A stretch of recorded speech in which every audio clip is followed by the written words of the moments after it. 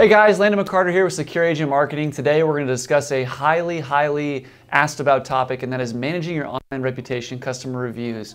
There's good things to do, there's bad things to do, there's pros, there's cons, doing things all types of different ways. I wanted to touch base on this particular topic because I get a lot of questions about it first off, and also it's not something that you really should just be flying off without thinking through. So, um, you know, your, your online reputation is, is important because of the fact that people are making more and more purchasing decisions without ever talking to a human or at least choosing who they're going to reach out to based on sort of their online presence. Your online reviews is a portion of what people are going to look at to consider reaching out to you in the first place. So I just wanted to talk through that a little bit um, really So one of the things I want to do is I want to talk through some do's and don'ts, okay?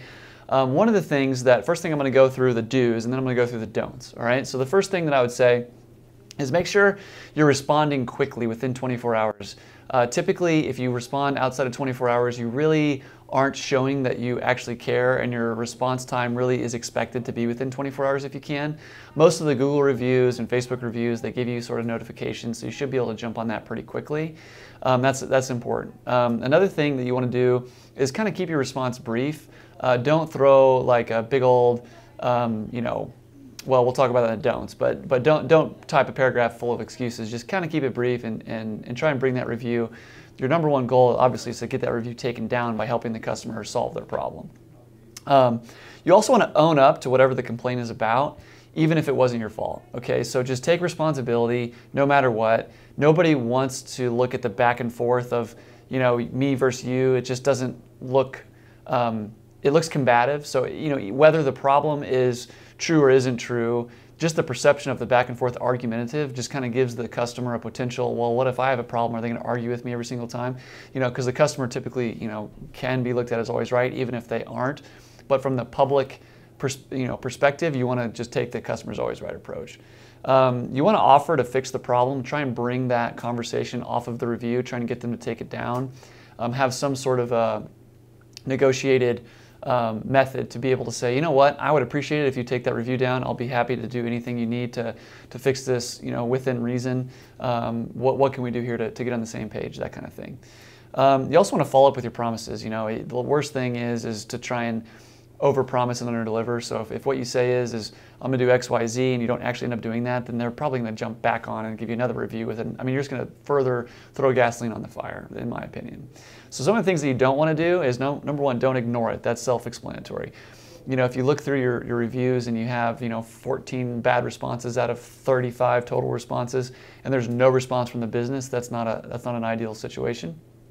Um, the next thing you want to do is you don't want to write a lengthy monologue full of excuses. I already kind of touched on this, but you know, really, there's no point to go there. It, it's just an online argument at that point, because the interpersonal communication aspect of communicating is sort of taken out of uh, the scenario whenever you're doing this whole back and forth review thing, there's just no point in, in, writing lengthy, you know, responses with excuses and explaining things. It just doesn't even matter. Just try and publicly, you want to just try and offer to fix the problem. Um, you also don't want to write a defensive response or blame the reviewer. Um, that's not ideal as well, just for the same theme as what I've been talking about before. Um, also threaten to sue seriously. Um, that just creates a just a dynamic that's like explosive. Like never ever put that out in public. That just creates a situation, even if what they're doing is, is potentially damaging you. Um, I have seen people like, oh, I'm no stranger to you know to, to bringing this thing to court if you don't blah, blah blah blah. It just it just comes across as just horrible, no matter what. Even if you're right, even if they're completely wrong, everybody is going to get a bad review from somebody. People are the only thing that we can do these days is kind of go fire off and pop off online. And so it's just going to happen. No matter how good your business is, you're going to get a bad review. You're going to get a one or two star review. So you need to kind of plan for how you're going to respond to that and never sort of threaten anything. Um, and also, don't leave fake good reviews. That's really weird and awkward. So some people will go in and like, kind of go in their own personal Gmail and leave good reviews. That's weird. Just don't don't do that. I mean, people can kind of see through that sometimes. That's a little bit about the do's and don'ts of of sort of how to handle those reviews. I have some examples that I'd like to kind of talk through. Um, let's see. Here's a here's an example of like a fake review and how to actually handle that handle that fake review. So this is a two star out of out of five star review. It says they do a great job when they complete it. Price wise, they're very expensive Only great thing is they are, for some reason, insurance approved, so no need to wait to get an estimate, and they have you know XYZ on location. So this was the response um, to handle this fake review. Hi, uh, we don't seem to have your name on records. Is there any chance you're writing on behalf of someone else? Either way, uh, can you let us know which location you visited and a little bit more about the problem with you mentioned when they complete it? If you can please call me XYZ at XYZ, right? So you want to kind of address it make sure that publicly you're saying, look, we don't have your customer in records. This seems you don't want to call it a fake review, but you want to just kind of kind of dismiss that altogether. That would be an example of how to handle that.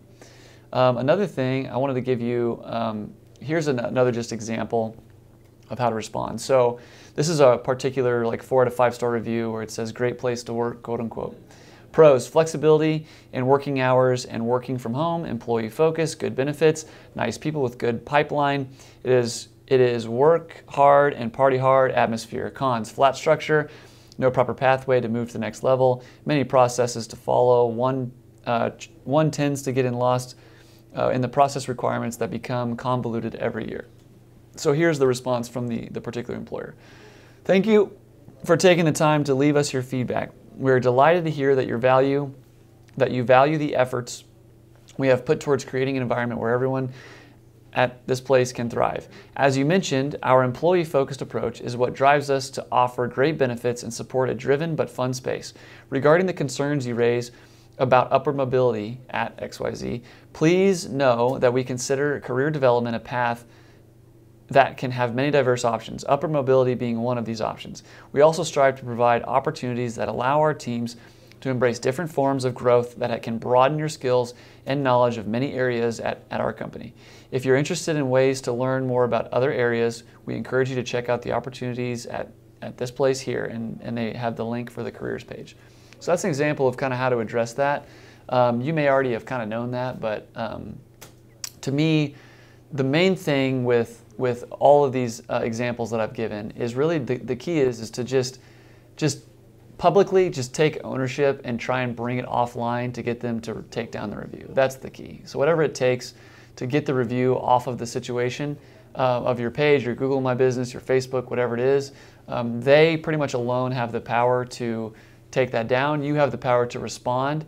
You want to assume that the person reading this review and potential um, that could potentially reach out to you in a lead form or a potential purchase is going to kind of look through through the reviews. It is important, um, so you want to kind of you know just do whatever you can to acknowledge it. Don't be combative, and then try and bring that offline to, to solve the problem. Now, another thing that actually matters with reviews, especially with Google, is Google does take your reviews into consideration when it comes to search engine optimization. So your website has a particular domain authority and reviews, amount of reviews along with the star rating with Google does affect your domain authority. So, you know, there's all connected, um, but you want to make sure that with Google, there's, there's more than just the customer aspect to pay attention to when it comes to reviews. You're also making sure that you're trying to solicit reviews um, as well to get more reviews for Google to look through and more opportunities to have good stories through your uh, page and also you know higher star rating. People are just kind of accustomed to like you know if, if you're working or choosing between four or five companies and one has a three star and one a, has a five star subconsciously you're going to gravitate towards the five star whether you acknowledge that's the reason or not especially with AdWords. So AdWords has these call extensions that you can actually put reviews on so that you can actually, if you have a five star, you can put that call extension on, on Google AdWords and use it as sort of a, you know, look at me, we got a five star review with 1,400 reviews or whatever. So um, that is that is important to pay attention to. So I hope this content was beneficial for you guys. It's something that sometimes you don't really think about, um, but I would love to kind of you know hear any feedbacks or concerns, or even if you have any examples of you know good reviewed responses that you have, share them in the comments for us. We're all here to learn together. I would love to uh, to, to see that. So just follow, if you're interested in talking further about search engine optimization, website development, any of this stuff with Secure Agent Marketing, we are built to serve the insurance industry. Follow the website link below and we'd love to get started with you.